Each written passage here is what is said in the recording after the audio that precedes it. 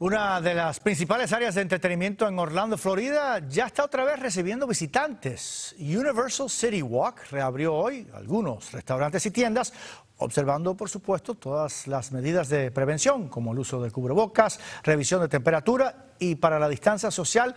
Unos anunciantes le recuerdan a la gente que deben estar al menos tres minions uno del otro.